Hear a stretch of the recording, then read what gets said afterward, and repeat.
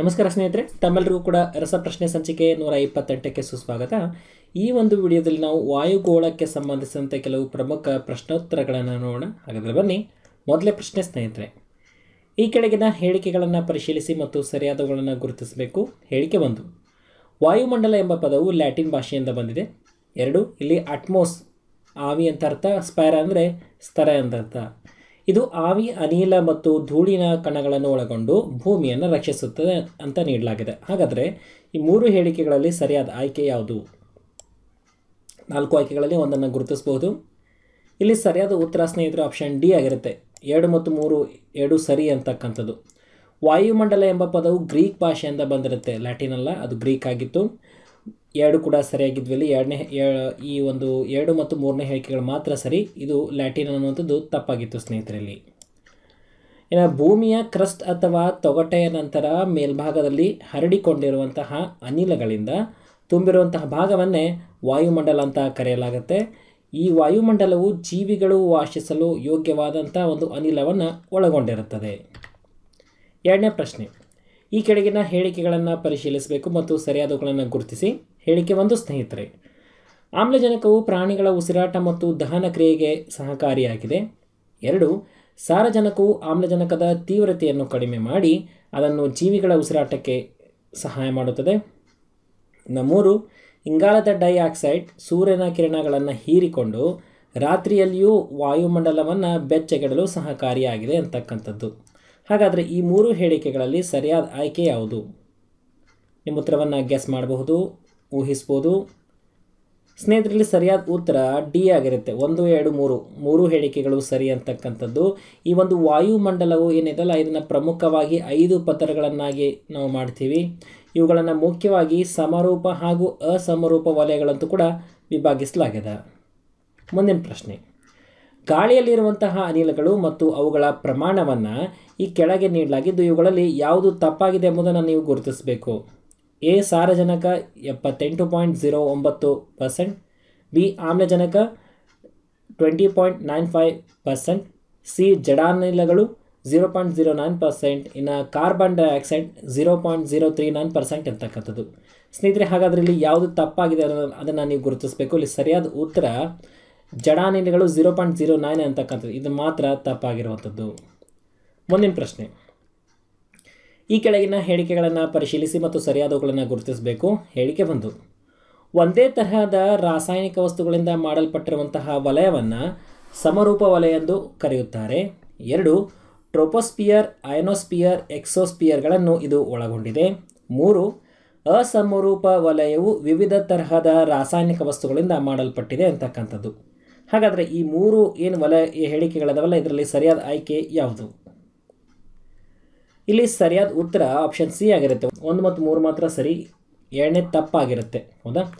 ಈ ಸಮರೂಪ ವಲಯಗಳನ್ನು ಇಲ್ಲಿ ನೋಡ್ಬೋದು. ಟ್ರೋಪೋಸ್ಪಿಯರ್, ಸ್ಟ್ರಾಟೋಸ್ಪಿಯರ್ ಮತ್ತು ಮಿಸೋಸ್ಪಿಯರ್ ಸಮರೂಪ ವಲಯಗಳಾಗಿದ್ದರೆ ಐನೋಸ್ಪಿಯರ್ ಮತ್ತು ಎಕ್ಸೋಸ್ಪಿಯರ್ ಅಸಮರೂಪ ವಲಯಗಳಾಗಿರ್ತವೆ ಶಿಲಾಗೋಳದಿಂದ ಪ್ರತಿ ಡ್ಯಾಶ್ ಮೀಟರ್ ಎತ್ತರಕ್ಕೆ ಹೋದಂತೆ ಒಂದು ಡಿಗ್ರಿ ಸೆಲ್ಸಿಯಸ್ ತಾಪಮಾನ ಕಡಿಮೆಯಾಗುತ್ತಾ ಹೋಗುತ್ತದೆ. ಇಲ್ಲಿ ಸರಿಯಾದ ಉತ್ತರ ಯಾವುದಾಗಿರುತ್ತೆ ಸ್ನೇಹಿತರೆ? ಇಲ್ಲಿ ಸರಿಯಾದ ಉತ್ತರ ಬಂದ್ಬಿಟ್ಟು ಆಪ್ಷನ್ ಡಿ ಆಗಿರುತ್ತೆ. ನೂರ ಅರವತ್ತೈದು ಎಂತಕ್ಕಂಥದ್ದು. ಹೌದಾ? ನೂರ ಅರವತ್ತೈದು ಮೀಟರ್ ಎತ್ತರಕ್ಕೆ ಹೋದಂತೆ ಏನಾಗುತ್ತೆ? ಒಂದು ಡಿಗ್ರಿ ಸೆಲ್ಸಿಯಸ್ ತಾಪಮಾನ ಕಡಿಮೆ ಆಗ್ತಾ ಹೋಗ್ತದೆ ಅನ್ನುವಂಥದ್ದು. ಇಲ್ಲಿ ಒಂದು kilometre equal to six point four degree celsius ತಾಪಮಾನ ಕಡಿಮೆ ಆಗ್ತದೆ ಹೋಗ್ತದೆ ಅಂತ ಹೇಳ್ತೀವಿ. ವಾಯುಮಂಡಲ ಮುಂದುವರೆದಂತೆ ತಾಪಮಾನದಲ್ಲಿ ವ್ಯತ್ಯಾಸ ಕಂಡುಬರ್ತದೆ. ಇನ್ನು ಭೂಮಿಯ ವಾಯುಮಂಡಲವು ಭೂಮಿಯಿಂದ ಸುಮಾರು ಹದಿನಾರು ನೂರು ಕಿಲೋಮೀಟರ್ ಎತ್ತರದವರೆಗೆ ವಿಸ್ತರಿಸಿದೆ. ಆದರೆ ತೊಂಬತ್ತೊಂಬತ್ತು ಪ್ರತಿಶತದಷ್ಟು ವಾಯುವಿನ ಸಾಂದ್ರತೆ ಏನಾಗುತ್ತೆ? ಭೂಮಿಯಿಂದ ಮೂವತ್ತೆರಡು ಕಿಲೋಮೀಟರ್ ಎತ್ತರದ ಒಳಗೆ ಹಂಚಿಕೆಯಾಗಿದೆ ಅಂತಕ್ಕಂಥದ್ದು ಸ್ನೇಹಿತರೆ. ಮುಂದಿನ ಪ್ರಶ್ನೆ. ಈ ಕೆಳಗಿನ ಯಾವುದನ್ನು ಸಾಮಾನ್ಯವಾಗಿ ಹವಾಮಾನದ ಉತ್ಪಾದಕ ವಲಯ ಎಂದು ಕರೆಯುತ್ತಾರೆ?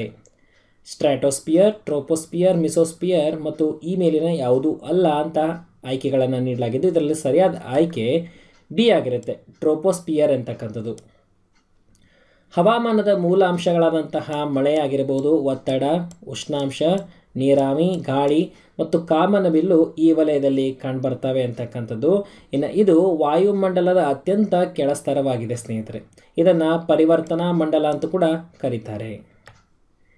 ಈ ಕೆಳಗಿನ ಹೇಳಿಕೆಗಳನ್ನು ಪರಿಶೀಲಿಸಿ ಮತ್ತು ಸರಿಯಾದವುಗಳನ್ನು ಗುರುತಿಸಬೇಕು. ಹೇಳಿಕೆ ಒಂದು. ಸಮೋಷ್ಣ ಮಂಡಲವು ಮೋಡಗಳಿಂದ ಮುಕ್ತವಾಗಿದ್ದು ಪ್ರಶಾಂತವಾಗಿ ಇರುವುದರಿಂದ ವಿಮಾನ ಸಂಚಾರಕ್ಕೆ ಸೂಕ್ತವಾಗಿದೆ. ಇನ್ನೆರಡು, ಈ ಸ್ತರದಲ್ಲಿ ಓಸೋನ್ ಪದರವನ್ನು ಕಾಣಬಹುದಾಗಿದೆ. ಈ ಎರಡು ಹೇಳಿಕೆಗಳಲ್ಲಿ ಸರಿಯಾದ ಆಯ್ಕೆ ಯಾವುದು? ಸ್ನೇಹಿತರಲ್ಲಿ ಸರಿಯಾದ ಉತ್ತರ ಆಪ್ಷನ್ ಸಿ ಆಗಿರುತ್ತೆ. ಒಂದು ಮತ್ತು ಎರಡು ಮಾತ್ರ ಸರಿ ಅಂತಕ್ಕಂಥದ್ದು. ಇದು ಭೂಮಿಯ ಮೇಲ್ಭಾಗದ ಹದಿನಾರು ಕಿಲೋಮೀಟರ್ನಿಂದ ಸುಮಾರು ಐವತ್ತು ಕಿಲೋಮೀಟರ್ವರೆಗೆ ವ್ಯಾಪಿಸಿರುವಂಥದ್ದು. ಈ ಪದರದಲ್ಲಿ ಉಷ್ಣಾಂಶ ಅರವತ್ತು ಮೈನಸ್ ಅರವತ್ತು ಡಿಗ್ರಿಯಿಂದ ಝೀರೋ ಡಿಗ್ರಿವರೆಗೆ ಸಾ ಸಾಕ್ತದೆ. ಮೈನಸ್ ಅರವತ್ತರಿಂದ ಝೀರೋ ಡಿಗ್ರಿವರೆಗೆ. ಇನ್ನು ಓಝೋನ್ ಪದರ ಏನಿದೆಯಲ್ಲ, ಇದು ಆಮ್ಲಜನಕದಿಂದ ಮಾಡಲ್ಪಟ್ಟಿರ್ತದೆ. ನೆನ್ಪಿಟ್ಕೊಳ್ಳಿ, ಓಮ್ ಓಜೋನ್ ಪದರ ಯಾವುದರಿಂದ ಮಾಡಲ್ಪಟ್ಟಿದೆ ಅಂತ ಕೇಳ್ಬೋದು. ಇದು ಆಮ್ಲಜನಕದಿಂದ ಮಾಡಲ್ಪಟ್ಟಿರ್ತದೆ. ಡೋಪ್ಸನ್ ಮಾನ ಅಥವಾ ಡಿ ಯು ಎಂಬುದು ಡ್ಯಾಶ್. ಆಯ್ಕೆಗಳನ್ನು ನೋಡಬಹುದು ವಾಯುವಿನ ಒತ್ತಡವನ್ನು ಅಳೆಯುವ ಮಾನ ಅಂತ ಹೇಳಬಹುದು. ಬಿ, ವಾಯುಮಂಡಲದ ಉಷ್ಣಾಂಶವನ್ನು ಅಳೆಯುವ ಮಾನ. ಸಿ ಓಝೋನ್ ಪದರದಲ್ಲಿರುವ ಓಝೋನ್ ಸಾಂದ್ರತೆಯನ್ನು ಅಳೆಯುವ ಮಾನ ಇನ್ನು ಡಿ ಈ ಮೇಲಿನ ಯಾವುದೂ ಅಲ್ಲ. ಇಲ್ಲಿ ಸರಿಯಾದ ಉತ್ತರ ಸಿ ಆಗಿರುತ್ತೆ ಸ್ನೇಹಿತರೆ. ಓಝೋನ್ ಪದರದಲ್ಲಿರುವ ಓಝೋನ್ ಸಾಂದ್ರತೆಯನ್ನು ಅಳೆಯುವ ಮಾನ ಈ ಡಿ ಯು ಮಾನವಾಗಿರ್ತದೆ. ಅಥವಾ ಅದನ್ನು ಡೊಪ್ಸನ್ ಮಾನ ಅಂತ ಕೂಡ ಕರೀತಾರೆ. ಸ್ನೇಹಿತರೆ, ನೀವು ಕೂಡ ಅನ್ನ ಅಕಾಡೆಮಿಗೆ ಜಾಯ್ನ್ ಆಗಬಹುದು. ನಾನು ಕೂಡ ಅನ್ನ ಅಕಾಡೆಮಿಯಲ್ಲಿ ಲೈವ್ ಎಜುಕೇಟರ್ ಆಗಿರ್ತೀನಿ ಸ್ನೇಹಿತರೆ. ಪ್ರತಿ ದಿವಸ ಅಲ್ಲಿ ಎಂಟು ಹದಿನೈದಕ್ಕೆ ನನ್ನ ಯೂಟ್ಯೂಬ್ ಕ್ಲಾಸ್ ಇರುತ್ತೆ. ನೀವು ನೇರವಾಗಿ ಬಂದು ಅಲ್ಲಿ ಕ್ಲಾಸಸ್ಗೆ ಜಾಯ್ನ್ ಆಗಬಹುದು. ಇನ್ನು ಪ್ರತಿ ದಿವಸ ಐದು ಮೂವತ್ತಕ್ಕೆ ಸ್ಪೆಷಲ್ ಕ್ಲಾಸ್ ಇರುತ್ತೆ ಸಂಡೇ ಒಂದನ್ನು ಬಿಟ್ಟು. ನಾ ಇವತ್ತಿಗೂ ಕೂಡ ಇದೆ. ಇವತ್ತು ಸಾಯಂಕಾಲ ಐದೂವರೆಗೆ ಹಿಸ್ಟ್ರಿ ಕ್ಲಾಸ್ ಇದೆ ಸ್ನೇಹಿತರೆ. ಏಳು ಗಂಟೆಗೆ ಸಾಮಾನ್ಯ ಕನ್ನಡ ಇದೆ. ಅಲ್ಲಿ ಕೂಡ ಜಾಯ್ನ್ ಆಗಿ. ಅನ್ ಅಕಾಡೆಮಿ ಆ್ಯಪಲ್ಲಿ ಇರುತ್ತೆ.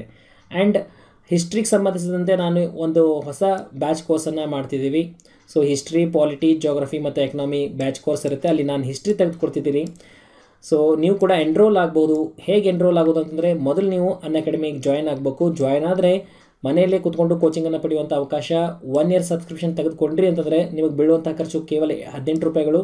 ಲೈವ್ ಡೌಟ್ ಕ್ಲಿಯರಿಂಗ್ ಸೆಷನ್ ಇರುತ್ತೆ. Structure class ಲಭ್ಯವಿರ್ತವೆ E M I payment option ಕೂಡ ಲಭ್ಯ ಇರ್ತದೆ. ಸೊ ಜಾಯ್ನ್ ಆದರೆ ಇಷ್ಟು ಜನ ಶಿಕ್ಷಕರ ವಿಡಿಯೋಸ್ ಎಲ್ಲವನ್ನು ನೋಡಬಹುದಾಗಿರುತ್ತೆ. ಕ್ಲಾಸಸ್ಗೆ ಅಟೆಂಡ್ ಆಗಬಹುದಾಗಿರುತ್ತೆ. ಸೊ ಅನ್ ಅಕಾಡೆಮಿ ಲರ್ನಿಂಗ್ ಆ್ಯಪನ್ನು ಡೌನ್ಲೋಡ್ ಮಾಡ್ಕೊಳ್ಳಿ, Karnataka P S C select ಮಾಡ್ಕೊಳ್ಳಿ ಪ್ಲಸ್ ಅಂತ ಇರುತ್ತೆ ಕ್ಲಿಕ್ ಮಾಡಿ ಈ ಥರ ಪೇಜ್ ಓಪನ್ ಆಗುತ್ತೆ ಗೆಟ್ ಸಬ್ಸ್ಕ್ರಿಪ್ಷನ್ ಒತ್ತಿ. ಸಬ್ಸ್ಕ್ರಿಪ್ಷನ್ ಪೇಜ್ ಓಪನ್ ಆಗುತ್ತೆ ಸ್ನೇಹಿತರೆ. ಸೊ ತಿಂಗಳದು ಮೂರು ತಿಂಗಳು, ಆರು ತಿಂಗಳು, ಒಂದು ವರ್ಷ ಎಲ್ಲ ಸಬ್ಸ್ಕ್ರಿಪ್ಷನ್ ಇದೆ. ಯಾವ್ದು ಬೇಕು ಚೂಸ್ ಮಾಡಿ ಕಂಟಿನ್ಯೂ ಓದ್ಕೊಳ್ಳಿ. ಆವಾಗ ಇಲ್ಲಿ ಎಂಟರ್ ರೆಫಲ್ ಕೋಡ್ ಅಂತ ಕೇಳುತ್ತಲ್ಲ, ಅಲ್ಲೇನು ಮಾಡಿ ರಮೇಶ್ ಲೈವ್ ಅಂತ ಹಾಕೊಳ್ಳಿ ಅಪ್ಲೈ ಬಟನ್ ಪ್ರೆಸ್ ಮಾಡಿ.